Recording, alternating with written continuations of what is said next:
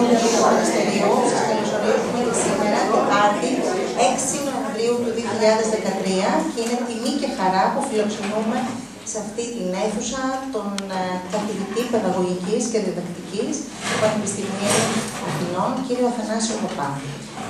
Ο κ. Αθανάσιος Παπάς είναι πρόεδρος του Ελληνικού Ινστιτούτου Εφαρμοσμένης Παιδαγωγικής και Εκπαίδευσης. Είναι ομότιμος καθηγητής του Πανεπιστημίου Αθηνών. Είναι για όλους μας ένα ορόσημο, για όλους εμάς τους εκπαιδευτικούς, πολλοί από τους οποίους είσαστε εδώ σήμερα και τιμούμε με τον τρόπο μας τον καθηγητή μας. Ε, ο καθηγητής μας είναι εξαίρετο μέλος της Επιστημονικής ε, Επιτροπής του Δημοτικού μας Πανεπιστημίου. Από την αρχή έχει στηρίξει ε, τη Δημοτική Βιβλιοθήκη Περιστερίου και το Δημοτικό Πανεπιστήμιο σε αυτό το εγχείρημα που είναι πραγματικά πρωτότυπο για τα δεδομένα, τα δημοτικά δεδομένα και από την αρχή μας έχει δώσει τον, ε, τις ιδέες του, τις πρωτότυπες απόψεις του, τις οποίες πολλές φορές προσπαθούμε να τις υιοθετήσουμε. Ο κύριος Αθανάσιος Παπάς είναι για όλους μας πολύ συγκινητικό και παπά που είσαστε εδώ. Είμαστε συγκινημένοι γιατί εμείς οι μάχημοι εκπαιδευτικοί έχουμε πάρει από εσάς τα φώτα. Έχουμε πάρει τις αρχές και κυρίως έχουμε πάρει την αγάπη που έχετε εσείς για τα παιδιά. Εμείς είμαστε εντεταλμένοι να διδάξουμε την νέα γενιά. Χωρίς εσάς δεν θα κάνουμε τίποτα. Έχω να σας πω ότι η Διευθύντρια Εκπαίδευσης της ΔΕΛΤΑ της ΓΑΜΑ Αθήνας, η κυρία Ψαρά, στέλνει χαιρετισμού. Ε, δεν μπορεί να παρευρεθεί λόγω ποιημένων υποχρεώσεων, αλλά παρόλα αυτά, επειδή έχει διδαχθεί και η ίδια από εσά, ε, στέλνει την αγάπη της. Επίσης, ε, χαιρετισμό έστειλαν οι υπεύθυνε της πολιτικής εκπαίδευσης και, και των πολιτιστικών. Η υπεύθυνη αγωγής υγείας, η κυρία Λιλιτσί, είναι εδώ μαζί μας, επίσημα μαθητριά σας. Πάρα πολύ εκπαιδευτική από το περιστέρι και όχι μόνο. Ε, ο κύριος καθηγητής θα είναι μαζί μας με σήμερα, αφού έχει αρχίσει και το πιλωτικό πρόγραμμα του Δημοτικού Πανεπιστημίου, έχω να σας πω. Ε, σήμερα λοιπόν θα μας κάνει την εισήγηση το ελκυστικό σχολείο στο μετέπειτα της τεχνολογίας και του ανθρωπισμού. Κύριε καθηγητά, λόγω σε εσάς. Πριν όμως ο καθηγητής μας, κύριε Τσιόδα, παρακαλώ, ένα χαιρετισμό.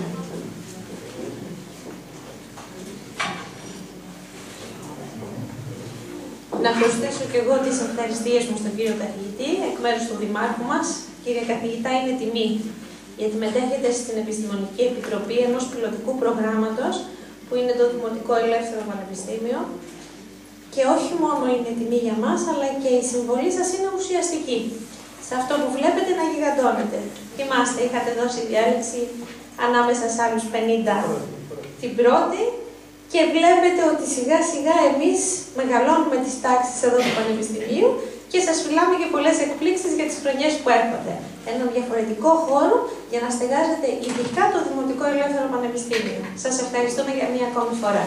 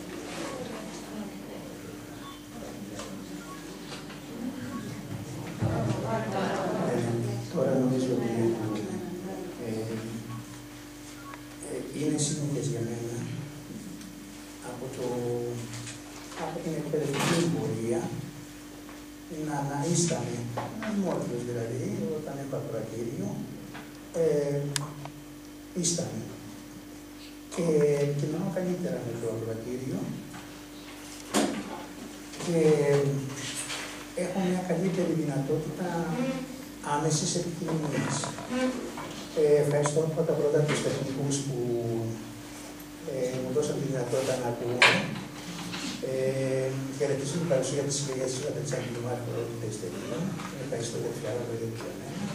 Την κυρία Δήμητρα Μόσκου, βεβαίως, η οποία πάντα έχει ένα καλό λόγο για τον δάσκαλό της. Ε, είναι πολύ συγκινητικό πραγματικά οι μαθητές να, να απευθύνουν ένα καλό λόγο στο δάσκαλό τους. Νομίζω ότι εδώ μέσα σήμερα υπάρχουν πάρα πολλοί εκπαιδευτικοί, δάσκαλοι, καθηγητές κλπ. Αλλά, αλλά εκτός από τους εκπαιδευτικού ε, υπάρχει ένα πλήθο ανθρώπων, εδώ δημοτών του Περιστερίου, οι οποίοι άφησαν όλες τις βιωτικές μέρημνες στην άκρη και ήρθαν εδώ. Και, και μην μου πείτε ότι είναι κανείς από την αίθουσα εδώ μέσα που δεν έχει να κάνει κάτι αυτές τις ώρες. Ξέρω πολύ καλά ότι όλοι σας συμπιέσατε το πρόγραμμά σας και, και ξέρω πολύ καλά τι έχετε αφήσει πίσω, φέρνοντας από το σπίτι. Εκκρεμότητες και λοιπά. Ευχαριστώ όλους. Εκ βάθους καρδίας. Θέλω να ευχαριστήσω πριν ξεκινήσω και το, το συνεργάτη της κυρίας της Ζώδη και του Δημάρχου, του Δημάρχου μας, ο οποίος είναι ακίνητο βέβαια και μας θυμά όλους όλους μας με τη δράση του. Ε, γιατί όσες φορές επικοινώνησαμε με τη γραμματεία, ήταν η επικοινωνία μας άψογη, άριστη.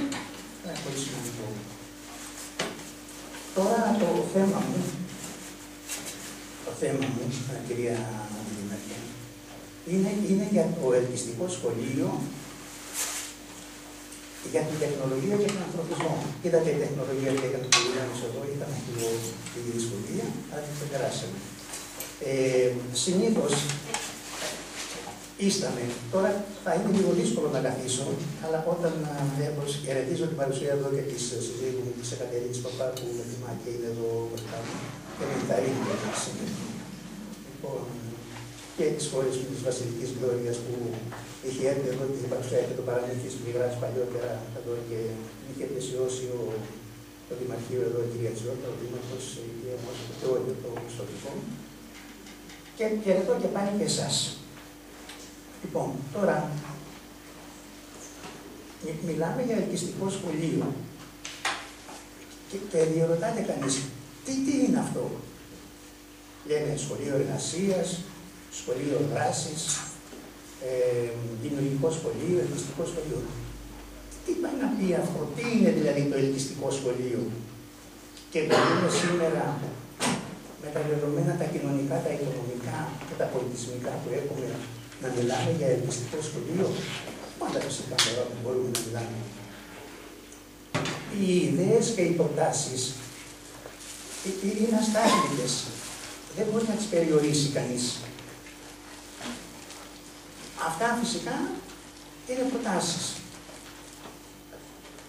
Ποιες προτάσεις όμως υλοποιούνται, αυτό το δείχνει η ζωή ίδια. Το τι πηγαίνει μπροστά, το τι μένει στάσιμο και το τι πάει πίσω. Άρα οι προτάσεις πρέπει να γίνονται. Δεν πρέπει να υπάρχει στασιμότητα, δεν πρέπει να υπάρχουν γυμνάζοντα νερά. Τα γυμνάζοντα νερά ξέρετε τι μπορούν να φέρουν και το ξέρετε καλύτερα από μένα. Θα χρησιμοποιήσω μερικά κείμενα σιγά σιγά χωρίς να σας κουράσω, αλλά θα στηριχθώ περισσότερο στο προφορικό λόγο.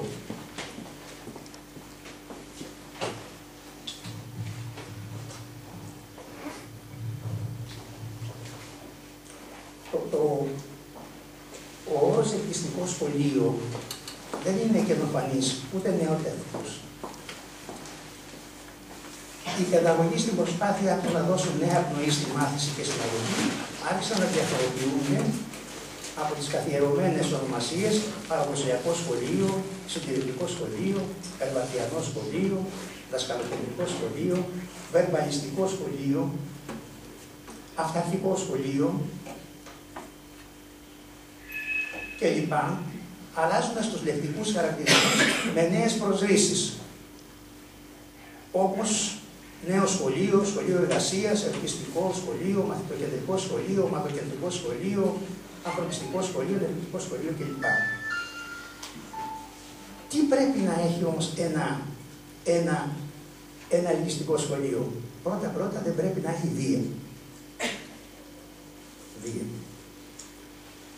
Υπάρχει ένας επιστήμονας, ο οποίος ε, έχει πάρει και βραβείο Νόμπελ, ο Λόρεντς. Αυτός λοιπόν έχει μιλήσει για τη βία και για την επιθετικότητα. Υπάρχουν διάφορες θεωρίες και ερωτήματα. Η βία, η επιθετικότητα είναι κάτι που είναι μέσα στην ύπαρξη, στα γονίδια του ανθρώπου ή είναι κοινωνιογενές φαινόμενο; Δηλαδή το μαθαίνει κανείς στην, στην κοινωνία που ζει. Υπάρχουν διάφορες θεωρίες και, και δεν πρέπει κανείς να έχει και δεν πρέπει να έχει κανείς την αρχή της απόλυτης βεβαιότητας να πει ότι αυτό είναι και τελείωσε. Γιατί αν κυρίες και κύριοι πούμε ότι αυτό είναι οριστικά και μετάκλητα, τότε αυτό γίνεται δόγμα και σταματάει κάθε συζήτηση. Πρέπει να λύση, δεν υπάρχει συζήτηση. Τελείωσε. Αυτό είναι πολύ επικίνδυνο. Να πεις αυτό είναι. Δεν υπάρχει καμία άλλη λύση, δεν υπάρχει τίποτα. Σταματάμε λοιπόν. Δεν το έρευνουμε πια, αφού το λύσαμε. Και εγώ δεν θα ήμουν απόψε εδώ αν αυτό είχε λυθεί. Τι μας λέει λοιπόν αυτός ο, ο επιστήμονας. Ξεκινάει από τα ζώα, σε σύγκριση με τον άνθρωπο. Μας λέει λοιπόν ότι τα ζώα ποτέ δεν επιτίθενται και ποτέ δεν σκοτώνουν το ίδιο είδος. Ένα άλλο είδος το σκοτώνουν. Πλην σπανίων εξαιρέσεων. Δηλαδή, τα ζώα, τα ίδια τα ζώα, που είναι ζώα και δεν είναι άνθρωποι, δεν σκοτώνουν, δεν σκοτώνουν το ίδιο είδος. Για παράδειγμα, όταν δύο λύκοι μαλώνουν, ο ένας λύκος νικέται. Πέφτει κάτω ο νικημένο, τελειώνει το λαιμό του στον νικητή, σαν να του λέει: Κοίταξε, σκότωσέ με. Δεν το σκοτώνει. Δεν το σκοτώνει. Αν όμως ένας άνθρωπος έχει γονατίσει, έχει πέσει κάτω και λέει στον άλλον: Μη με σκοτώσεις, τι γίνεται, κυρία Τσότα. Ευτυχώς.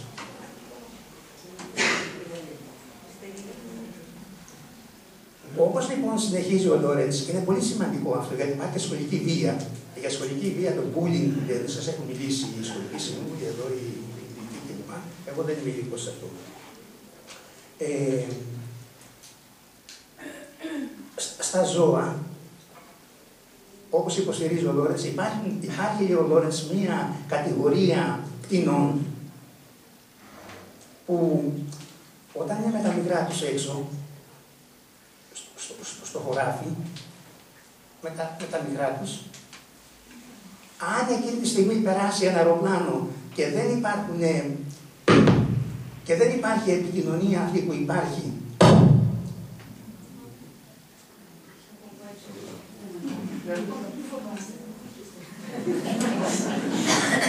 Είναι καμιά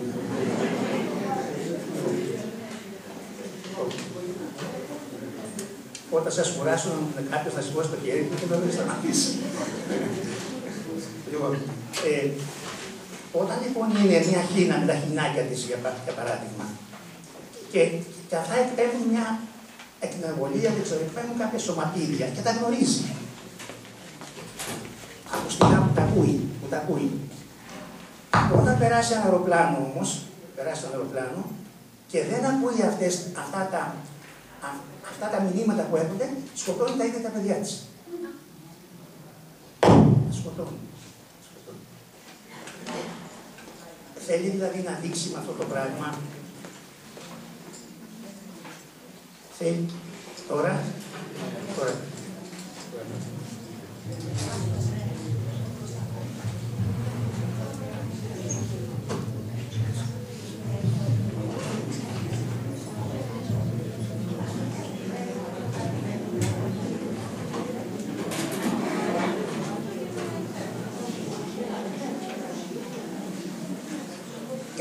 Λοιπόν, μα, μας λέει τώρα ο Λόρεντς ότι υπάρχουν βιολογικοί ανασταλτικοί μηχανισμοί.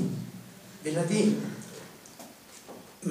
μέσα στο, στο, βιολογικό, στο, στο βιολογικό υπόβαθρο του ζώου ή του πτηνού υπάρχουν, αυτές, υπάρχουν αυτοί οι μηχανισμοί που λένε να μην σκοτώσει ο λύκος το λύκο, να μην σκοτώσει η χίνα τα χινάκια, για παράδειγμα, και αυτό γίνεται αυτόματα. Είναι, είναι, είναι ενσωματωμένο στο DNA τους, βιολογικά. Τι γίνεται με τον άνθρωπο, ακούστε το. Επειδή ο άνθρωπος δεν έχει τη δυνατότητα να έχει αυτούς τους βιολογικούς προστατικούς μηχανισμούς, έχει επινοήσει κάτι άλλο. Κάνει πανεπιστήμια, κάνει γυμνάσια, κάνει δημοτικά, κάνει νηπιαγωγία. Έχει τη, τη, τη θρησκεία του, το κάθε κράτος. Τι λέει η θρησκεία για παράδειγμα; Ου φωνεύσεις. Είναι ηθικός ανασταλτικός μηχανισμός. Υπάρχει δηλαδή ο βιολογικός ανασταλτικός μηχανισμός που είναι αυτόματος από μέσα στα ζώα και στον άνθρωπο, κυρία Μόσκου, υπάρχει ο ηθικός ανασταλτικός μηχανισμός, ο ηθικός, που σου λέει μη σκοτώνεις τον συνάνθρωπό σου. Μη χτυπάς το συμμαχτή σου. Μη βάζεις φωτιά στο, το σπίτι του γείτονά σου. Μη κλέψεις το αυτοκίνητο. Αγαπάτε αλλήλους. Λέει ο Κάντ. Πράτε, λέει ο Κάντ, ο μεγάλος γερμανός φιλόσοφος, έτσι, ούτως ώστε όλες οι πράξεις σου να αποτελούν καθολική νομοθεσία. Δεν χρειάζεται νόμος. Υπάρχουν μάλιστα και οι, οι αναρχικοί υπό την ευγενή έννοια του όρου, όπως είναι ο Τολστόη και ο Ήψεν. Τι μας λένε αυτοί; Αυτοί το πάνε λίγο πιο, πιο πέρα το πράγμα. Λένε λοιπόν, κυρία Καρκούλια αυτή, ο Τολστόη και ο Ήψεν, ότι ο άνθρωπος έχει μέσα του κανόνες ευπρέπειας και καλής συμπεριφοράς. Και ότι δεν χρειάζεται χωροφύλακας, δικαστής, δίμιο κλπ. Όμως δεν ζούμε σε κοινωνία ανθρώπων, σε κοινωνία αγγέλων, ζούμε σε κοινωνία ανθρώπων. Και, και καταλαβαίνουμε ότι υπάρχουν πάρα πολλοί κίνδυνοι, ελάχιστοι είναι εκείνοι, συνεχίζει πάλι το κείμενο, που εφαρμόζουν το σοκρατικό, τη ρίση του Σοκράτη, ή αναγκαίων ή αδικήν ή αδικήστε, ελίμην να αδικήστε ή αδικήν. Αν με ρωτούσαν οι Σοκράτης, δεν προτιμούσα να αδικηθώ ή να αδικήσω κάποιον, θα προτιμούσα να αδικηθώ εγώ ίδιος πάνω να αδικήσω κάποιον. Ε, ζούμε λοιπόν όχι σε κοινωνία αγγέλων, ζούμε σε κοινωνία ανθρώπων. Και, και, και οι γονείς και τα σχολεία και όλοι μας προσέχουν γιατί υπάρχουν μεθυσμένοι οδηγοί, υπάρχουν καλώδια υψηλής τάση και, και λοιπά και λοιπά. Και, και πρέπει να λάβουν τα μέτρα μας. Άρα πρέπει, κυρία Τσιώτα, να έχουμε ηθικούς ανασταλτικούς μηχανισμούς. Ένας, ένας ηθικός ανασταλτικός μηχανισμός είναι και το πανεπιστήμιο αυτό εδώ.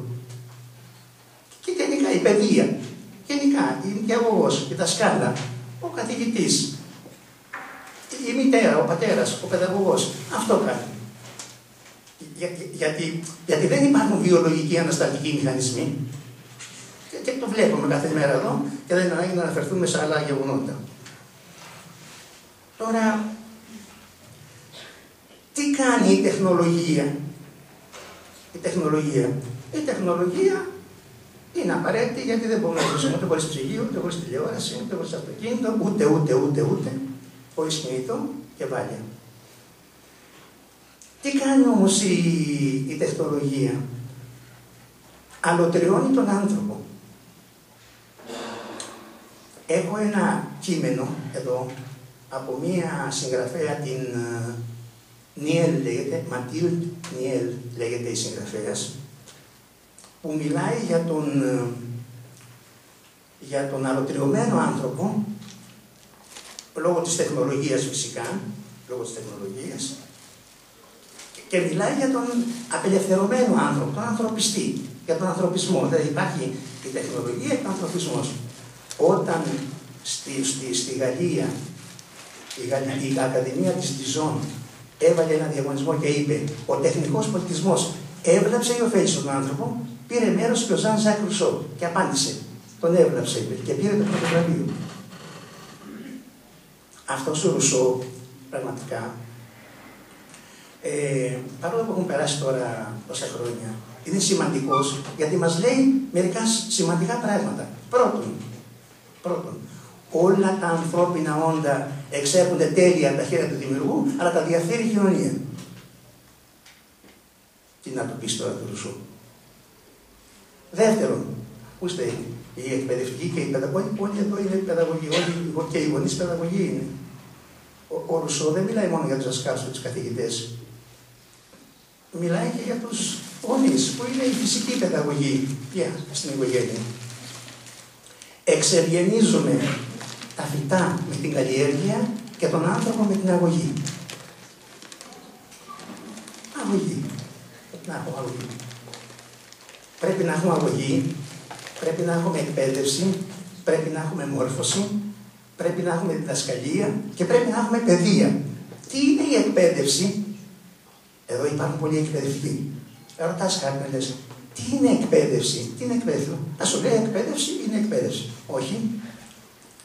Ακούστε έναν ορισμό πολύ σημαντικό εντός εισαγωγικών το κείμενο. Εκπαιδεύω. Πρόθεση εκ, ρήμα παιδεύω. Σημαίνει οδηγώ το παιδί προς τα έξω. Όχι προς τα μέσα, προς τα έξω. Οδηγώ το παιδί από την αμάρεια στη γνώση. Οδηγώ το παιδί από το ένστικτο στον κριτικό λογισμό.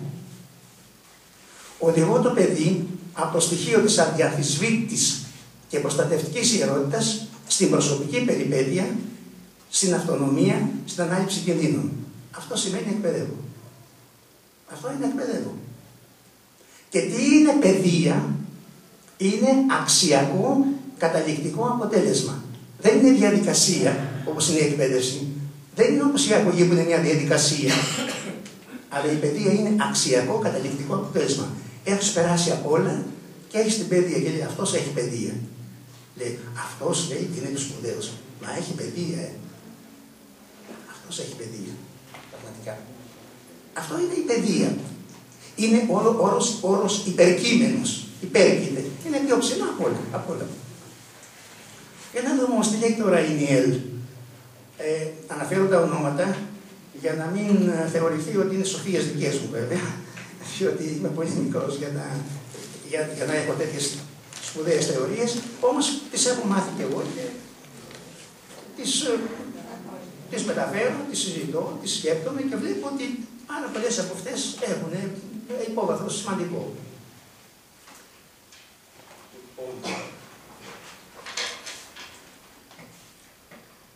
Το πρώτο που πρέπει να κάνω μόλις πάω στο, από την άλλη εβδομάδα, ε, κυρία Μασκού, να αυξήσω το ποσοστό στα γυαλιά μου. Βάλω 50 πόντους ακόμα. Γιατί μου είπε τώρα που η σύζυγος μου λέει, τα γυαλιά σου, λέει, που δεν τα πήρα λίγο. Θα τα ξέχασα, κάποιος κύριος θα υπάρχει μέσα λίγο στο που είναι, Γιατί εγώ βέβαια είμαι πολύ μεγάλος, εντάξει, ε, ε, εδώ είστε νέοι άνθρωποι εσείς, αλλά ε, κάποιος θα υπάρχει, μου δώσει ένα ζευγάρι γυαλιά, να, να δω, εντάξει, θα κάνει ο κόσμος. Λοιπόν, ε, έχω, λίγο, έχω, έχω λίγη δυσκολία τώρα εδώ λίγο αυτό τώρα, εντάξει. Λοιπόν, τι πρέπει να εννοούμε όταν λέμε απελευθερωμένος άνθρωπος και αλωτριωμένος άνθρωπος; Απελευθερωμένος και είναι απελευθερωμένος. Αλωτριωμένος είναι αποξενωμένος, αποκομμένος πια άνθρωπος, αυτός που ζει πια σε μια κατάσταση η οποία δεν, δεν μπορεί να σταθμιστεί. Είναι εγχώμενη κατάσταση. Και, και αυτό γίνεται από την τεχνολογία. Ε. ε για, γιατί λέει, λέει ο Μάρξ, υπάρχουν οι ανάγκες Υπάρχουν και οι, οι, οι, οι απάνθρωπες ανάγκες που εξανθρωποδίζουν τον άνθρωπο. Για παράδειγμα, ποιος από εσάς κυρίες και κύριοι δεν έχει τσίφιλε μες στη τσάντα του, αν τώρα δεν επιτρέπεται, να κάνω μια, μια έρευνα στις τσάντε. δεν επιτρέπεται αυτό έτσι, εντάξει, το είπα έτσι, παρεμπιπτόντω. Ναι, λίγο νεράκι τώρα, συμπληρώνω να πάω λίγο νεράκι. Όλοι μας έχουμε τσίπλα, την τσέπη μας. Αν πάμε στο σπίτι, παίρνει άνθρωπος, τι θα πείτε, λέει κοκακόλα έχετε. Η κοκακόλα και η τσίχλα είναι τεχνικές ανάγκες. Δεν τις έχει ανάγκη ο άνθρωπος. Και όμως έχουν γίνει πολυεθνικές. Ξέρετε ότι από αυτά τα πράγματα υπάρχουν πολυεθνικές. Είναι επτά αδερφέ που μείναν έξω, η μία εξοδόθηκε. Και είναι οι περίφημες πολυεθνικές εταιρείες, οι οποίες προγραμματίζουν τα πάντα πριν από εμάς για μας. Και, και όλα είναι τυποποιημένα. Λοιπόν, αυτό φυσικά, αυτό φυσικά είναι τεχνολογία. Αλλά δεν θα ρίξουμε το λίθο του αναθέματος, ούτε θα δαιμονοποιήσουμε την τεχνολογία, γιατί, γιατί όλοι συμμετέχουμε.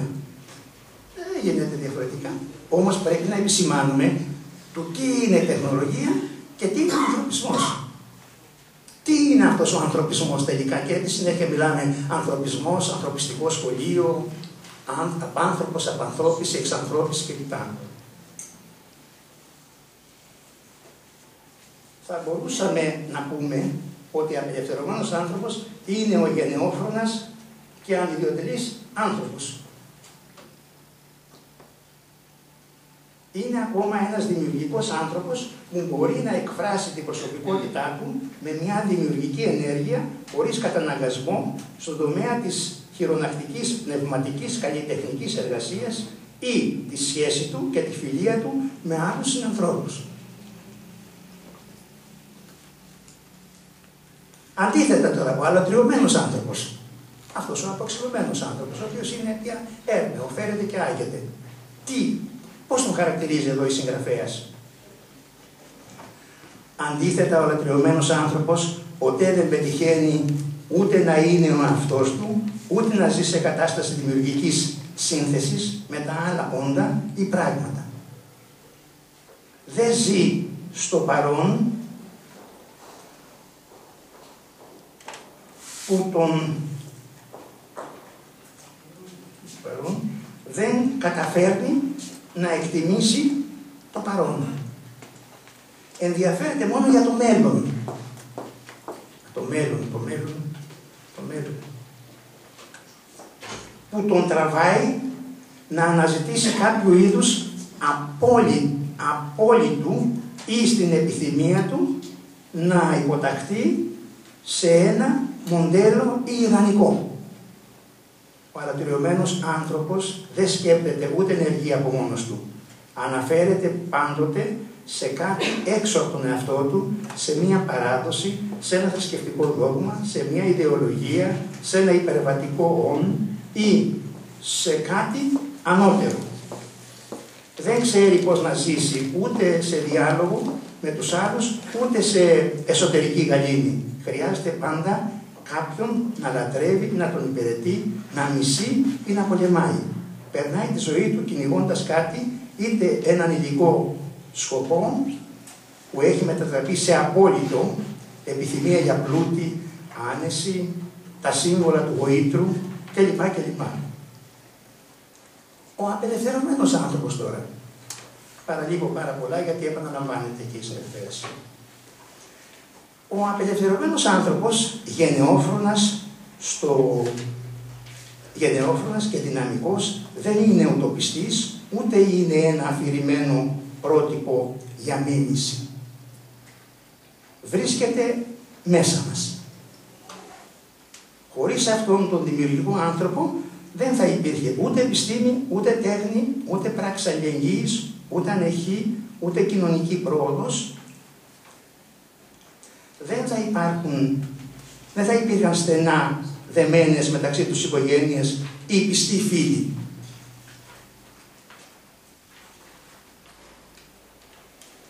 Πώς τώρα η τεχνολογία, πώς η τεχνολογία μας αλωτριώνει, αλωτριώνει τον άνθρωπο, πώς μας αποξενώνει γενικά η τεχνολογία. Δυστυχώς, ο άνθρωπος έχει, έχει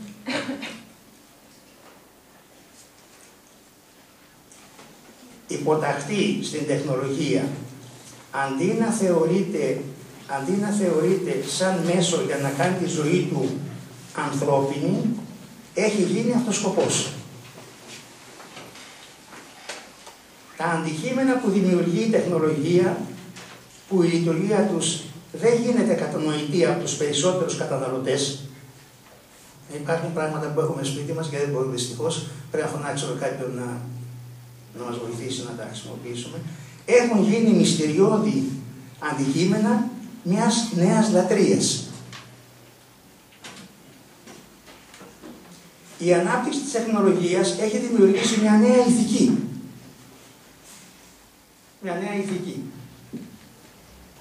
Η αποδοτική έρευνα, η υποταγή στις ανάγκες της παραγωγής, το ενδιαφέρον για, τα, για την ποιότητα και την αποτελεσματικότητα έχουν γίνει αρετές της νέας ηθικής, της τεχνολογικής ηθικής. Πώς υπάρχει μια τεχνολογική ηθική. Ο καθηγητής Ρούμπο, Ρούμπο της Σχολής Επιστημών του Πανεπιστημίου του Νανσί, διατηρήσει, τους, ε, διατηρήσει πως νιώθει πραγματική περιφρόνηση, αυτός ο Ρουμπό νιώθει πραγματική περιφρόνηση για τις ανθρώπινες επιστήμες. Ακούστε τώρα σε εισαγωγικά το κείμενο. Αυτό που χρειάζεται πάνω απ' όλα, λέει ο καθηγητής, είναι τα, επιστημ... τα πραγματικά μαθηματικά, η φυσική, η χημική, οι βιολόγοι και οι γεωλόγοι και τίποτα περισσότερο. Αυτός λέει αυτό το πράγμα και να εντάξει. Έχει την άποψή του. Όλα τα άλλα είναι, είναι, δεν είναι παρά μια επικίνδυνη και στήρα φιαρία.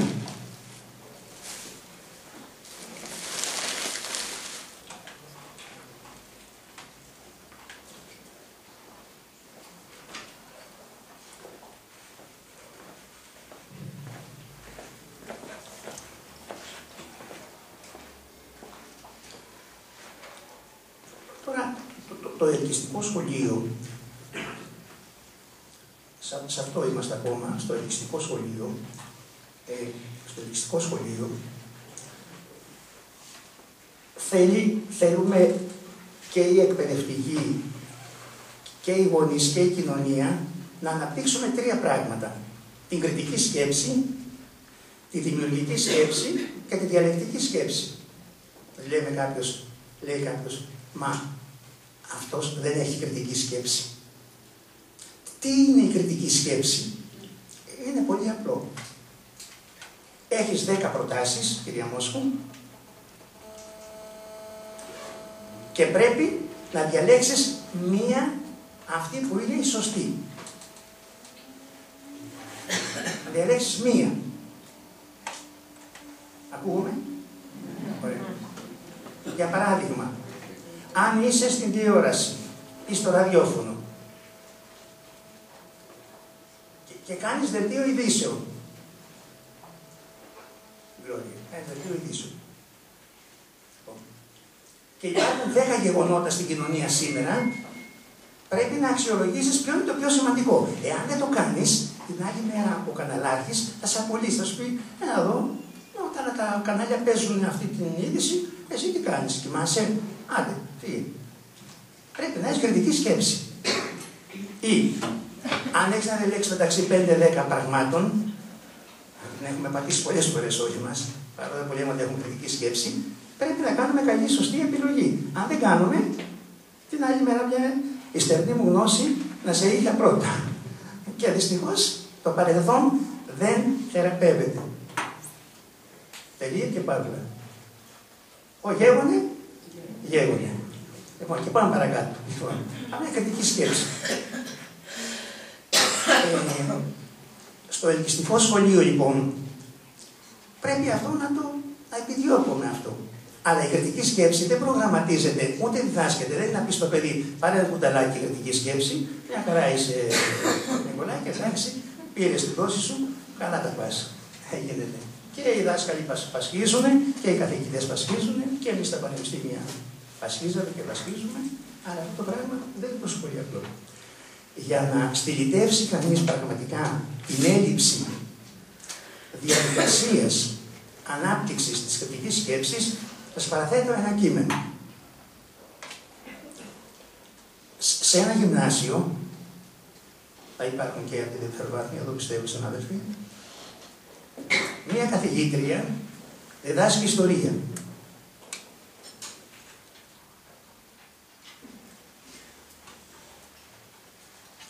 Θυμόσαστε ότι στην ελληνορωμαϊκή ιστορία κάπου στη δεύτερη τρίτη γυμνασίου κάπου μαθαίναμε εκεί για τη Ρώμη.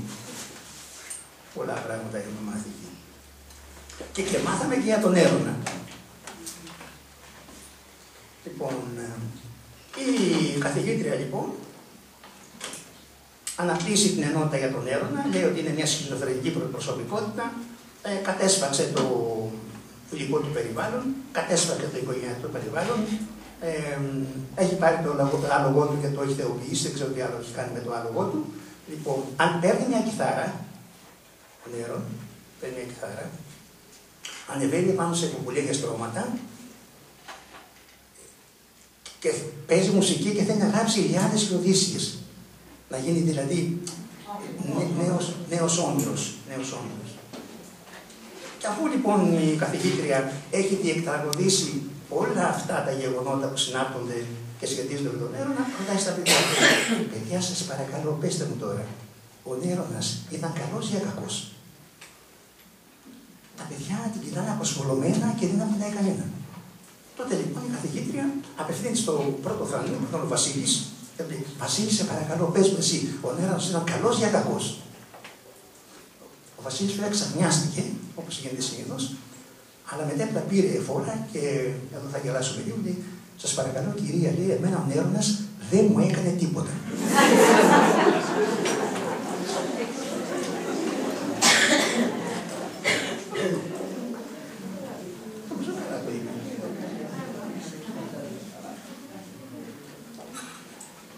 αλλά, αλλά εκτός όμως από την κριτική σκέψη,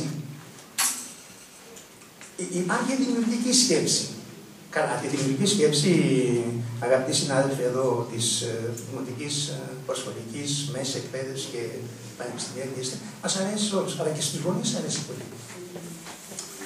Λέμε αυτός είναι πολύ δημιουργικός. Ε. Τι είναι δημιουργικότητα, είναι το προϊόν του μοναδικού εγώ μας. Αυτό το κάνουμε μόνοι εμείς, δεν το κάνει άλλος. Αν κάνεις κάτι, εσύ και ο άλλος πάει να κάνει το ίδιο, θα σε αντιγράψει. Δεν μπορεί να το κάνει ακριβώς το ίδιο. Δεν γίνεται. Θα είναι αντιγραφέας. Παλιότερα οι δάσκαλοι δίναμε στα. Επειδή εγώ έχω περάσει και από τη δημοτική εκπαίδευση 10 χρόνια. Και, το θεωρώ τιμή μου πραγματικά. Ότι πέρασε και από αυτό το σχολείο που λέγεται Δημοτικό Σχολείο. Όταν βάσαμε λοιπόν να ζωγραφίσουμε τα παιδιά, κυρία Καρπουλιά, μερικοί κάνουν έναν άνθρωπο, να κάνουν ένα κεφάλι μεγάλο που λέει, και, λέγεται αυτό το όριο κεφάλα. Το κεφάλας. Και είναι πολύ μεγάλο το κεφάλι και λείπουν αυτιά, κυρία Μόσκου, ε, κυρία Ζώντα, λείπουν αυτιά, μύτη. Όσα περισσότερα χαρακτηριστικά βάλει το παιδί, τόσο λέει πιο ευφυές είναι το, το, το, το, παιδί. Τόσο πιο ευφυής είναι ο μαθητής. Δηλαδή, όσες περισσότερες λεπτομέρειες βάλει, αν του βάλεις να ζωγραφίσει ένα, έναν άνθρωπο, όσα περισσότερα χαρακτηριστικά βάλει κυρία Παπά, όσα περισσότερα χαρακτηριστικά βάλει στο αυτό επάνω, τόσο πιο περισσότερο πιο ευφυές είναι. Έτσι τουλάχιστον λένε οι ψυχολόγοι. Αυτό λοιπόν το κακόγουστο ιχνογράφημα για μας, που είναι κακόγουστο, για το παιδί είναι αριστούργημα. Γιατί αυτό μπορεί να κάνει. Αυτό μπορεί να κάνει. Και δεν μπορείς αμέσως να, να κάνεις κριτική στο παιδί για να το να, να, να κόψει τη δημιουργικότητά του, αυτό, αυτό μπορεί να κάνει. Είναι το προϊόν του δημιουργικού εγώ του. Αυτό κάνει. Όπως κάνουμε και εμείς. Ό,τι κάνετε εσείς δεν μπορεί να το κάνει άλλος. Θα το κάνει βέβαια, μόνο να το κάνει, αλλά είχα ακούσει παλιότερα, δεν ξέρω αν είναι αληθές, ότι Κάποιοι πήραν, νομίζω οι Γερμανοί πήραν το, να κάνουν τον Παρθενό, να κάνουν να πάρουν αυτό, να το καταφέρουν, να το κάνουν, αλλά δεν, δεν, δεν παρακολούθησαν ότι οι Κίονε έχουν έναν ελάχιστο στραβισμό που δεν μπορούσαν να το δουν και, και τα κάναν ίσια και, και δεν ήταν ακριβώς αντίγραφο. Δεν μπορούσαν να το κάνουν. Δεν μπορούσαν να το κάνουν. Ε, είναι, είναι ο Καλλικράτης, ο Φιλία και οι άλλοι που είναι επανάληπτοι. Είναι το προϊόν του μοναδικού εγώ τους. Τώρα, τι γίνεται με τη δημιουργικότητα; Αυτό είναι πολύ σημαντικό. Όταν ένας δάσκαλος στο σχολείο διδάσκει πρόσθεση και λέει στα παιδιά, λέγαν παλιότερα, ένα και ένα ίσον δύο, δύο και δύο ίσον τέσσερα κύριε Τσότα. Το θυμόσαστε. Λέμε λοιπόν ότι δύο και δύο ίσον τέσσερα. Βεβαίως. Κανείς δεν αμφιβάλλει αυτό. Κύριε Λιαντσί, δύο και δύο έχουν τέσσερα. Αλλά το 2 συν 2 ίσον 4 μπορεί να γίνει με διάφορους τρόπους. Μπορεί να γίνει με πρόσθεση, με αφαίρεση, με πολλαπλασιασμό, με διαίρεση. Δηλαδή, μπορεί να βρεις το 2 συν 2 ίσον 4 με διαφορετικές πράξεις. Αυτό είναι δημιουργικό. Δεύτερον, η δημιουργικότητα λέει στον εκπαιδευτικό να κάνουν ερωτήσεις και στους γονείς, να κάνουν ερωτήσεις στα παιδιά τους και στους μαθητές τους που να μην ξέρουν και ήδη την απάντηση. Το σκεφτήκατε ποτέ αυτό; Αυτό είναι, αυτό, είναι, αυτό είναι πολύ σημαντικό. Καλά, αν το κάνει κανένας δάσκαλος στο μάθουν οι γονείς, δεν ξέρω εγώ τι κάνουν αναφορά βεβαίως. Εγώ είμαι ένας καθηγητής. Αλλά είναι πολύ δημιουργικό. Δηλαδή, κάνεις μια ερώτηση που δεν ξέρεις και εσύ την απάντηση. Δεν τη ξέρεις; Τρίτον, η δημιουργικότητα λέει κυρία Τσιώτα το εξής. Για εσά που είστε, εσάς που είστε αντίμερκο, όταν έχεις ένα πρόβλημα και δεν μπορεί να το λύσεις, αλλάζεις το πρόβλημα και λύνεται αμέσως.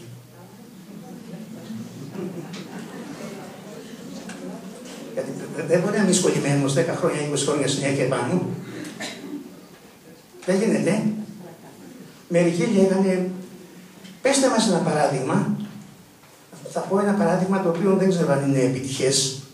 Απλώς επειδή ο λόγος είναι προφορικός δεν θέλω να, να υποστώ την κριτική που υφίσταται οποιοδήποτε δεν χρησιμοποιεί ένα συγκροτημένο κείμενο και το διαβάζει. Τολμώ λοιπόν να χρησιμοποιήσω το προφορικό λόγο. Λοιπόν, ε, όταν, όταν ο Ηρακλής πήρε εντολή από τον Ευριστέα να πάει να καθαρίσει το στάδιο του Αργίου.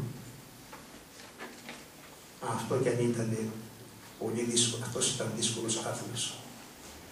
Εάν δεν είχε πάρει, αν δεν είχε επινοήσει δημιουργικά να στρέψει τα ποτάμια και να καθαρίσει τους τάφου στα αυγεία και είχε φτιάρι και κασμά, θα ήταν εκεί ακόμα. Πάμε ένα βίντεο αν είχαμε, τα ακούσαμε, θα ήταν εκεί ακόμα και θα καθάρισε η κυρία Μόσχο, δυστυχώ τα Αυτό είναι πολύ σημαντικό. Όταν έχεις ένα πρόβλημα και δεν μπορεί να το λύσεις, αλλάζει το πρόβλημα και λύνεται αμέσως. Δεν πρέπει να περιμένεις. πρέπει να δράσεις. Πρέπει να το λύσεις.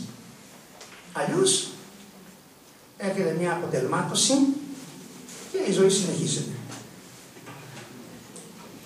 Τώρα τι γίνεται με τη δημιουργικότητα; Α, η δημιουργικότητα η δημιουργικότητα χρησιμοποιείται και στα κράτη. Και στα έθνη και στα οικονομικά και στις κοινωνίες και Ε, το 1968 στη Γαλλία όπως ξέρετε πολύ καλά, είχαμε τον περίφημο Μάη του 68 στη Γαλλία, Λωρία. Και, και τι έγινε τότε, ένας υπουργός είχε πάει στην Άντι να εγκαινιάσει μια φοιτητική αιστεία. Και είχε πισίνες, βιβλιοθήκες, κυριατσότητα, τα πάντα όλα. Ε, μόλις τελείωσε η η λειτουργία και τα εγγένεια κλπ. Κανεί δεν πίστευε τι θα προκύψει εκείνη τη στιγμή. Οπότε τελείωσε και ο υπουργός, έβγαλε και τους λόγους του όλα. Πετάγεται λοιπόν ένας φοιτητής από το βάθο, ο Κον Μπεντίτ. Ο κόκκινος Μπεν, όπως τον λέγανε τότε κυρία Λιάντσι, έβαλε τα χέρια του εδώ στο στόμα. Εδώ. Δεν είχε την ντούκα. Δεν είχε την ντούκα. Καλά θα ήταν να είχε βέβαια, αλλά δεν είχε. Ο, ο υπουργός είχε. Είχε την πρόθυμη σε έχω εγώ. Και λέει, κύριε Υπουργέ, ήρθατε εδώ να μας μιλήσετε για το πανεπιστήμιο, για τις πισίνες, για τις βιβλιοθήκες, για τα βιβλία, για όλα. Για τα δικά μας προσωπικά προβλήματα δεν μας είπατε τίποτα. Γιατί; Ο υπουργός τότε θύμωσε, άπαξε το μικρόφωνο και έδωσε την εξής απάντηση. Μην τη δώσετε ποτέ αυτή την απάντηση, γιατί πρέπει να έχετε υπομονή αγγέλου για να την πάρετε πίσω μετά. Προσέξτε, ε. μην βιάζετε να δείτε απαντήσεις, ούτε εγώ πρέπει να βιάζομαι. Όλο μάλλον εγώ. ήρθα εδώ ο υπουργός, ήρθα εδώ, να συζητήσω με σοβαρούς ανθρώπους για σοβαρά πράγματα. Αν εσύ, αν εσύ, είπε στον Κονμπεντή, έχεις προβλήματα, άλλα προβλήματα, κάνε μια βουτιά στην πισίνα να σου περάσουν.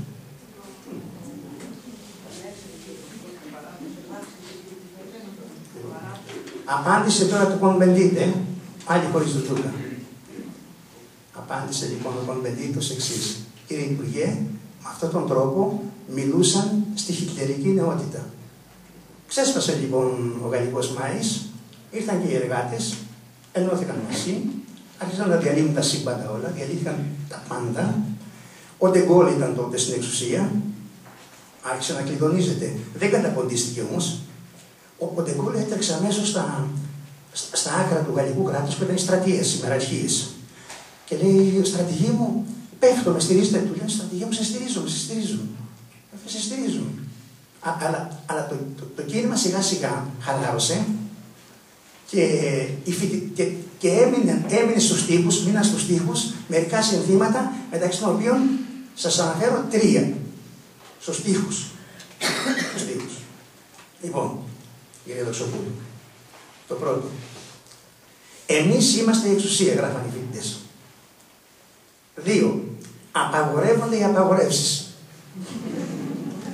Τρία. Η φαντασία στην εξουσία. Και, και λέγοντας η φαντασία στην ουσία τώρα, πηγαίνουμε ακριβώς, ερχόμαστε στην, στην πατρίδα μας, στην Ελλάδα. Όσοι έχετε δίπλωμα αυτοκινήτου, και πιστεύω ότι πολλοί από εσάς έχετε δίπλωμα εδώ αυτοκινήτου. Ε, Ανδρέα, εσύ έχεις πιστεύω έτσι, εντάξει. Λοιπόν, θα μπορείτε να μου πάρει και να θέση στο πανεπιστήμιο εδώ να μιλήσω. Αλλά τώρα έχω τόσους φίλους εδώ που όποιον για να φωνάξω, αν μπορεί να πάρει το θέλει. Λοιπόν, υπάρχει, υπάρχει, ένας, υπάρχει, υπάρχει μια περιοχή εδώ στην, στη, στην Ελλάδα που άμα φύγεις από τα Γιάννενα, την πατρίδα μου, ε, περνάς και πηγαίνεις, από τα Γιάννενα πηγαίνεις και περνάς από μια περιοχή που λέγεται Κατάρα. Τώρα, για να λέγεται Κατάρα, κάτι δεν πήγαινε καλά, κυρία Τσότα. Χιόνι θα είχε. Χιόνι, χιόνι θα είχε, βέβαια. Ε, για το χιόνι τώρα, βέβαια, και ιδίως τώρα που δεν έχουμε και πολύ πετρέλαιο, δεν βάλουμε καθόλου πετρέλαιο, δεν το θέλουμε και πολύ, εντάξει. Αλλά ενώ στην Ελλάδα παλιότερα το χιόνι ήταν κατάρα, καταράστηκε, στην Ελβετία τι γίνεται; Δύο πράγματα πουλούν οι Ελβετοί στην ανθρωπότητα. Το πρώτο είναι το χιόνι και το δεύτερο, κύριε Μόσχου, η εχεμήθεια. Εχεμήθεια. Γι' αυτό αν έχει κανείς, δεν θέλει να βάλει κανείς λεφτά, κύριε Παπά, τα χέρια, τα καταθέτει στην Ελβετία και εχεμήθεια. Λοιπόν, πουλάνε λοιπόν κυρία Σότα δύο πράγματα στου ξένου χιόνι και χεμήθεια. Θα πάμε παρακάτω. Και, και, και τα δολάρια εισραίουν στι ελβετικές τράπεζες και έχουν το μεγαλύτερο κατακεφαλήν εισόδημα από όλα τα άλλα κράτη. Σαουδική Αραβία βγάζει το, το περισσότερο πετρέλαιο στον κόσμο. Το κατακεφαλήν εισόδημα είναι πολύ μικρότερο από τις Ελβετίε. Νότιος Αφρική βγάζει το περισσότερο χρυσό στον κόσμο. Το κατακεφαλήν εισόδημα είναι μικρότερο από τις Ελβετίε. Λιβερία, α, Λιβερία, έχει τον μεγαλύτερο στόλο, αλλά είναι χάρτινος. Τι σημαίνει, πάρα πολλά πλοία πλέον υπό σημαία Λιβεριανή, υποστέλνουν δηλαδή τη σημαία του άλλου κράτους που ανήκουν, που ανήκουν, που ανήκουν, ναι, ναι, και υψώνουν τη Λιβεριανή σημαία διότι έχουν διευκολύνσεις. Και έτσι οι Λιβεριανές τράπεζες γεμίζουν με δολάρια. Λίχτενστάιν. Καλά, για το Λίχτενστάιν τώρα τελευταίος θα έχετε ακούσει όπου λίγα. Για το Λίχτενστάιν, κυρία μου, βεβαίως. Τι δουλειά, τι, πόσους κατοίκους έχει, πιστεύω γύρω στους 30.000 κατοίκους. Είναι σφινωμένο μεταξύ άλλων κρατών, ένα μικρό κρατήριο, κυρία Τσιώτα, πολύ πλούσιο. Ακούστε ένα επάγγελμα προσοδοφόρο που στηρίζεται στη δημιουργικότητα βεβαίως που κάνουν εκεί. Κατασκευάζουν γραμματόσημα για τους γραμματοσυλλέκτες όλου του κόσμου. Αυτή τη μανία που έχουν ανοίξει. Εδώ είναι ένα γραμματόσημα. Και, και οι τράπεζες γεμίζουν με δολάρια. Για να δούμε όμως τώρα τη δημιουργικότητα στο σχολείο πώς, τι μπορεί να γίνει στο ελκυστικό σχολείο; Λοιπόν, θα σας διαβάσω τώρα ένα κείμενο, ένα κείμενο, ενός 11χρονου ή 12χρονου μαθητή. Λοιπόν,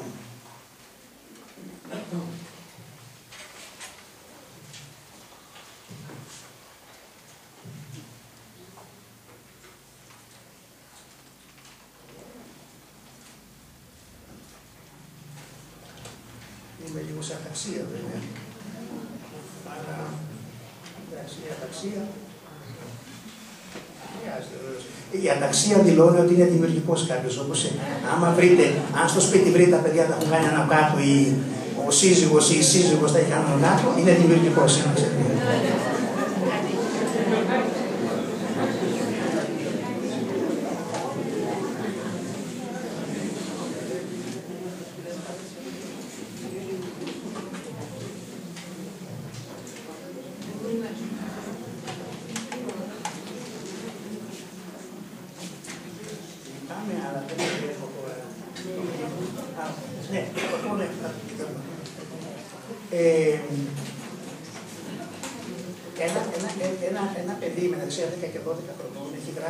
ένα κείμενο, ένα σκέφτομαι και γράφω μια έκθεση για ένα κείμενο, για την αράχνη.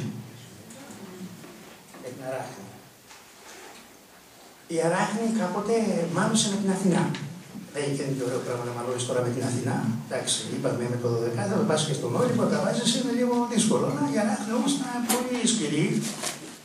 Ε, ε, η Αθηνά της έκανε παρατήρηση διότι η δουλειά σου λέει είναι πάρα πολύ καλή λέει, και πρέπει να, να τιμωρηθείς γι' αυτό, επειδή ήταν πολύ καλή.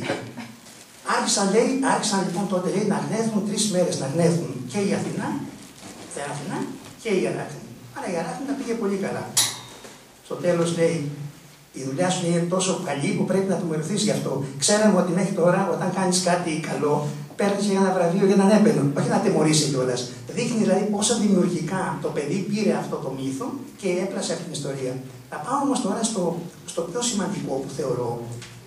Α, αυτό που λέει, αυτό που λέει ένας, ένας, ένας ψυχολόγος και παιδαγωγός, ο Μπρούντερ, τι μας λέει; Όταν διδάσκουμε στο σχολείο ή στην οικογένεια ή στο γυμνάσιο, στο λύκειο, στο πανεπιστήμιο, πρέπει να ακολουθήσουμε έναν έντιμο τρόπο διδασκαλίας. Δηλαδή, δηλαδή οτιδήποτε διδάσκουμε πρέπει να το διδάσκουμε στο γλωσσικό και νοητικό επίπεδο του παιδιού. Αυτό είναι σαφές. Γιατί αν δεν το διδάσκουμε στο γλωσσικό και νοητικό επίπεδο του, των μαθητών μας, ε, τότε δεν θα γίνει. Δηλαδή, το καταλάβετε μάλιστα κύριε, λέει και μετά στα φροντιστήρια. Δεν γίνεται αυτό το πράγμα. Πρέπει να το διδάσκουμε στο γλωσσικό και νοητικό επίπεδο του παιδιού. Λοιπόν, τώρα να δούμε λίγο το κείμενο αυτό, ε, κυρία Καρπούλια. Εγώ κανονικά πρέπει να έχω το βρήκα, ο Μπρούνερ.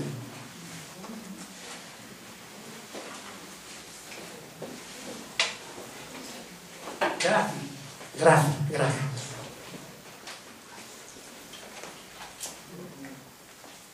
Όταν δίδαξα για πρώτη φορά σε μια προχωρημένη τάξη κολεγίου, λέει ένας καθηγητής της φυσικής, της φυσικής, την θεωρία του quantum, quantum, quanta κλπ. Κάτι σας θυμίζει αυτό. Είδα τα παιδιά, είδα τα παιδιά να τον κοιτάζουν με ένα βλέμμα άδειο. Σαν να μην έχει καταλάβει τίποτα. Σαν να μην έχει καταλάβει τίποτα. Επανέλαβε τη θεωρία και πάλι δεν κατάλαβαν.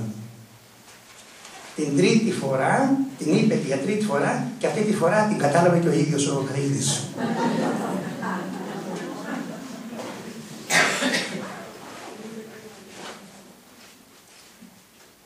Όταν λοιπόν είμαστε στο σχολείο, στο σχολείο ε, είναι καλό, είναι, είναι καλό, είναι καλό να ακολουθήσουμε έναν τρόπο επικοινωνίας με, με, με τους μαθητές μας που να είναι κατανοητός. Γιατί η γνώση, γνώση είναι ό,τι γίνεται κατανοητό στη διάνοιά μας. Και για να γίνει κατανοητό στη διάνοια, στη διάνοια μας, κυρία Μόσχο, θα πρέπει οπωσδήποτε να υπάρχει έντιμος τρόπος διδασκαλίας και πρέπει να είναι σε μια γλώσσα στο νοητικό και γλωσσικό επίπεδο του μαθητή μας. Διαφορετικά δεν θα έχουμε καλά αποτελέσματα και θα έχουμε προβλήματα. Όχι, θα έχουμε προβλήματα. Λοιπόν, τώρα,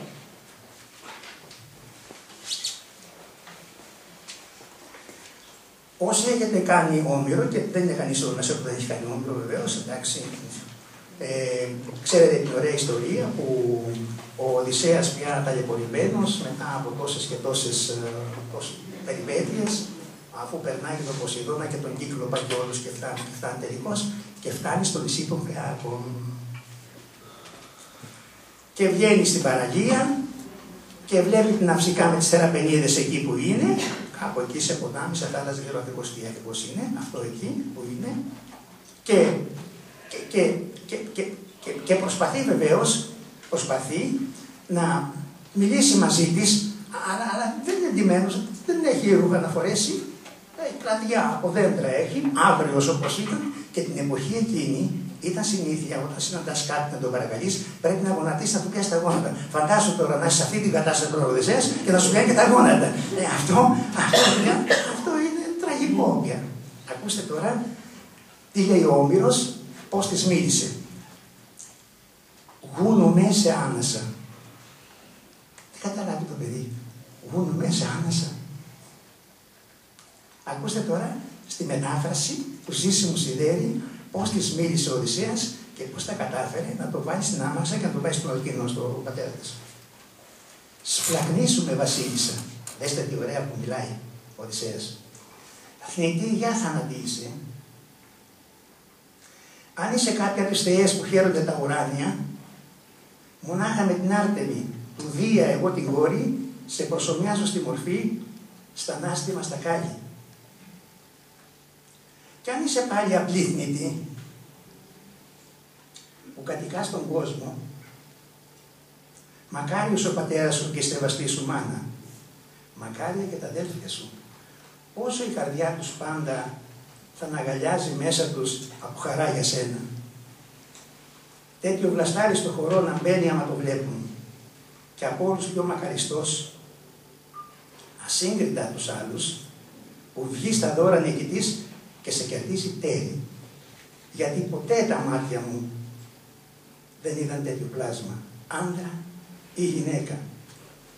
Θάμπουσαν τα μάτια μου όταν σε είδα. Μόνο, μόνο στη δήλω μια φορά, πλάι στο κομμό του Απόλλου, τέτοιο δροσάτο φοινικιάς δαστάρι δεν ανθίζει. Πήγα και εκεί. Λαός πολλής, μ' ακολούθαει στο ταξίδι, όπου γραφτώ τις πιο βαριές να δοκιμάσω πίκρες. Κι όπως εκείνο ώρα καλή με θάμπωσα με τα γιατί από τη γη δεν φύτρωσε φυτό παρόμοια ακόμα. Έτσι και εσύ με θάμπωσες, Παρθένα κι όλους τρέμω, μόσες και ανέβω φορές, το γόνα σου να πιάσω.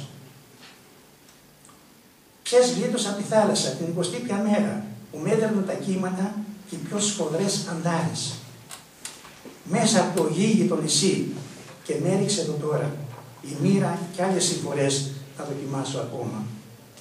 Γιατί θα ρω πως οι θεοί και άλλα πολλά μου γράφουν. Κάμε ένα έλαιο σκυρά, με την ψυχή στο στόμα. Τα χέρια σου πρωτόπτεσα.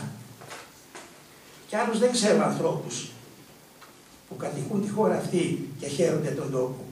Έλα την πόλη δείξε μου και δώσ' με ένα αποφόρι Μαζί σου ανέφερες εδώ τα ρούχα να τυλίξεις και ας σου χαρίσουν οι Θεοί όσα ζητάει η καρδιά σου, άντρα και σπίτι και γλυκιά μέσα σου αγάπη ας κλείσουν. Γιατί δεν έχει πιο όμορφο παρόταν με μια γνώμη αγαπημένο αντρόγινο φροντίζει για το σπίτι.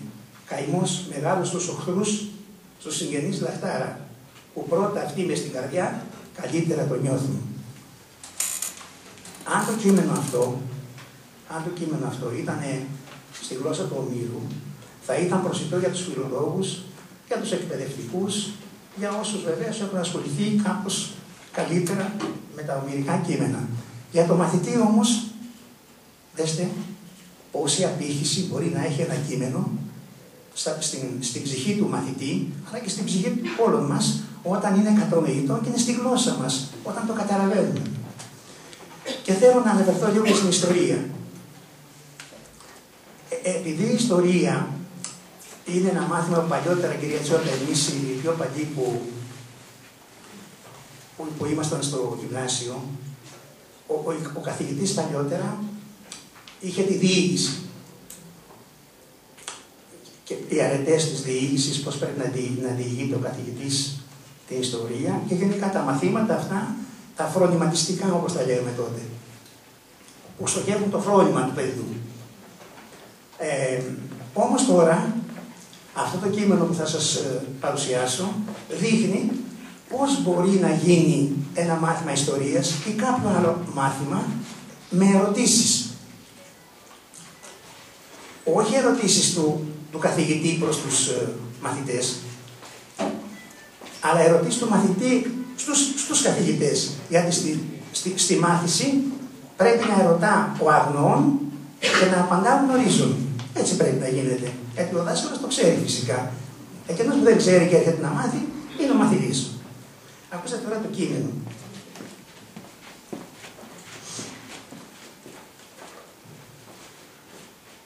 Το, το κείμενο, το κείμενο, κρίμα, τώρα βρήκα το κείμενο της ε,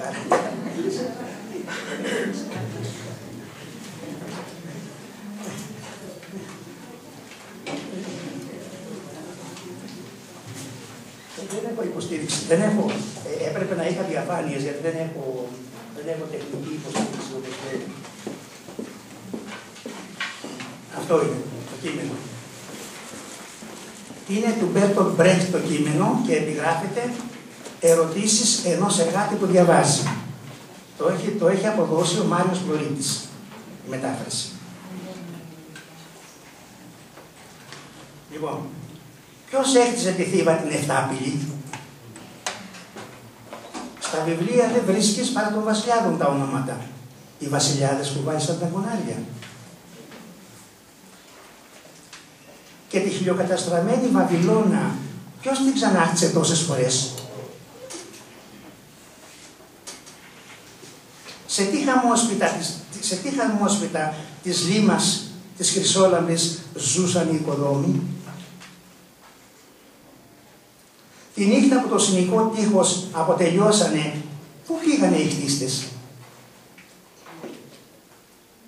Η Μεγάλη Ρώμη είναι γεμάτη αψίδες τριάμβου. Ποιος τις έστησε; Πάνω σε ποιους τριαμβεύσανε οι Κέσαρες; Το Βυζάντιο το χειροτραγουδισμένο μόνο παλάτια είχε για τους κατοίκους του. Ακόμα και στη μυθική Ατλαντίδα, τη νύχτα που τη ρούφηξε η θάλασσα, αφεντικά βουλιάζοντας, ουρλιάζοντας, με ουρλιαχτά τους σκλάβους τους καλούσαν. Ο νεαρός Αλέξανδρος υπόταξε τις Ινδίες. Μοναχός του. Ο Κέσσαρας νίκησε τους Γαλάτες. Δεν είχε ούτε ένα μάγειρα μαζί του. Ο Φίλιππος της Ισπανίας έκλαψε όταν η αρμάδα του βυθίστηκε. Δεν έκλαψε τάχα άλλος κανένας. Οι μανάδες των παιδιών δεν, δεν κλάψανε. Ο Μέγας Φρυδερίκος κέρδισε τον 7χρονο τον πόλεμο. Ποιος άλλος τον κέρδισε; Κάθε σελίδα και μία νίκη. Ποιος μαγείρεψε τα νικητήρια συμπόσια. Κάθε δέκα χρόνια ήταν ένας μεγάλος άντρας. Ποιος πλήρωσε τα έξοδα; Πόσες και πόσες ιστορίες, πόσες και πόσες απορίες.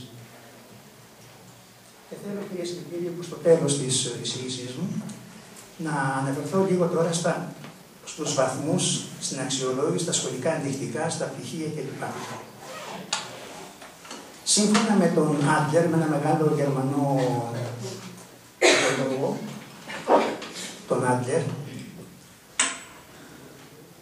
οι βαθμοί των σχολικών ενδεικτικών και γενικά οι βαθμοί είναι η προσωπική γνώμη του καθηγητή ή του δασκάλου ή οποιοδήποτε άλλο για τον εξεταζόμενο και ποτέ η πραγματική του αξία.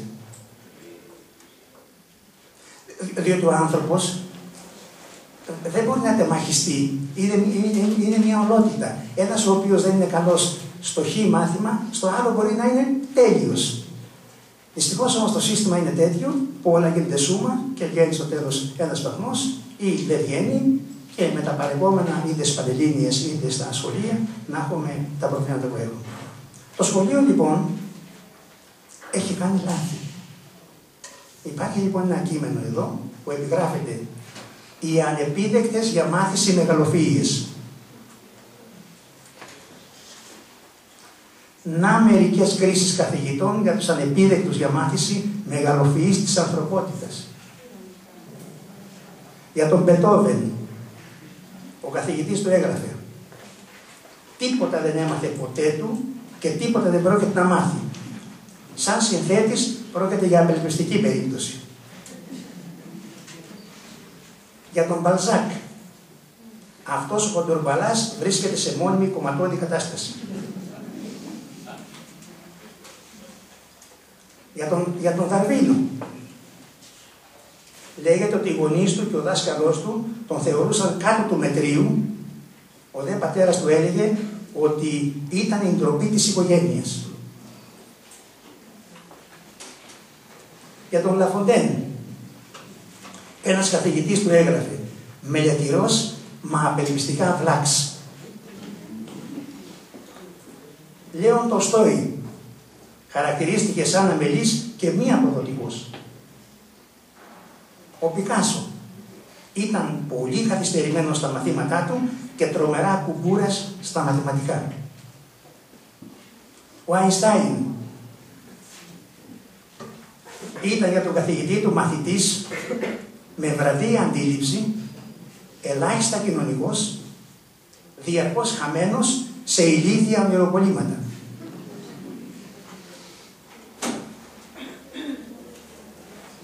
Κυρίε και κύριοι, νομίζω ότι, ότι έχω εξαντλήσει τώρα την την υπομονή σας.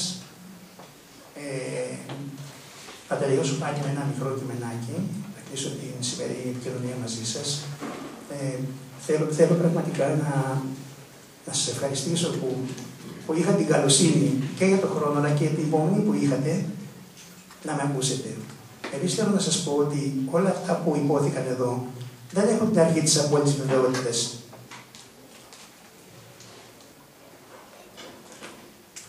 είπαμε ότι είναι, είναι, οι απόψεις αυτές. Δεν μπορούμε να είμαστε απόλυτα, απόλυτα βέβαιοι γι' αυτό. Γι' αυτό που λέμε. Όμως αυτά μπορεί, μπορεί να γίνουν αντικείμενο συζήτησης. Και, και όπως λέγανε και οι αρχαίοι μας προγόνοι, έτερος εξετέρου σοφός γίγνεται. Και νομίζω ότι το να πούμε και το, τις απόψεις των άλλων είναι πάρα πολύ σημαντικό. Τώρα, ε, ξεκινήσαμε λοιπόν από, το, από την επιθετικότητα με τον Λόρεντς, κάναμε την περιήγηση αυτή που κάναμε, φτάσαμε τώρα στο Μπρέχτ με το, με το θέμα της ε, ιστορίας και τα ερωτήματα. Είδαμε την, ε, την ωραία αυτή εξέλιξη της δημιουργικότητας, τι πράγμα είναι αυτό. Και επειδή το κείμενο το βρήκα τώρα, μπαίνω στον πειρασμό να το διαβάσω, γιατί το, άδικη, το αδίκησα κύριε Μόσκου, νομίζω ότι έχω την άδεια του Στα πολύ παλιά χρόνια, όταν η Αράχνη είπε ότι ήταν καλύτερη από την Αθηνά στον Αργαλιό, η Αθηνά μεταβιεσμένη της απάντησε, κυρία Τζόντα. Της απάντησε καλύτερα να μου ζητήσεις συγγνώμη. Αλλιώς μπορεί να καταστραφείς για αυτό που είπες. Όταν είσαι αντίθετος με την υπάρχουσα κουλτούρα, η υπάρχουσα κουλτούρα σε εξοντώνει. Λυπάμαι. Όχι πάντα βέβαια, αλλά συμβαίνει. Συνήθως. Εντάξει κύριε Ζώνα, νομίζω ότι εντάξει. εντάξει. Η Αράχνη όμως είπε, Ας κάνουμε διαγωνισμό να δούμε ποια μπορεί να υφάνει καλύτερα. Ευχαριστώ. Νομίζω ότι ήταν καλό. Έτσι η Αθηνά και η Αράχνη ξεκίνησαν να γνέθουν. Κύριε Λιέτζη. Έγνεθαν όλη μέρα χωρίς ανάπαυλα. Στο τέλος της ημέρας το γνέσιμό τους τελείωσε η Αθηνά έμεινε κατάπληκτη από το γνέσιμο της Αράχνης και είπε στην Αράχνη η δουλειά σου είναι τόσο καλή που πρέπει να τιμωρηθείς γι' αυτό. Και τη φύσηξε τρεις φορές το κεφάλι Τότε από, από το μαντία της βγήκε ένα μαύρο μπουκάλι και η αράχνη μίκρινε στο μέγεθος μπιζελιού. Έτρεξε με τα 8 μικρά της πόδια μακριά, πολύ μικρή για να τη δει κανείς.